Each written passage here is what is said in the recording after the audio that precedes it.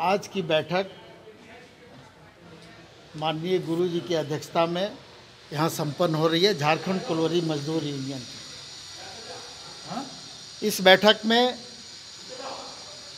विशेष रूप से जो कार्यकारिणी के सदस्य झारखंड कोलोरी मजदूर यूनियन के, उनको आमंत्रित किया गया है और उनके बीच में जो चर्चाएँ हो रही है, वो प्रत्येक तीन वर्ष में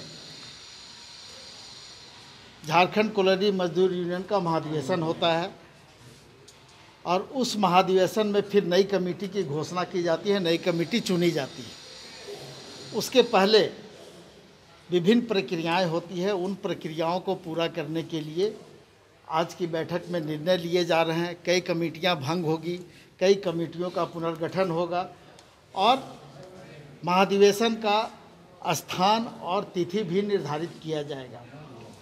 उसके अलावा 28 और 29 मार्च को विभिन्न श्रमिक संगठनों के द्वारा भारत बंद का आह्वान किया गया है। ये केंद्र सरकार के मजदूर किसान विरोधी नीति के खिलाफ में ये बंद है। उसमें झारखंड कोलोरी मजदूर यूनियन की भूमिका क्या होगी? किस तरह से हम सहयोग करेंगे? किस तरह से मजदूरों को उनका हक दिलाएँगे?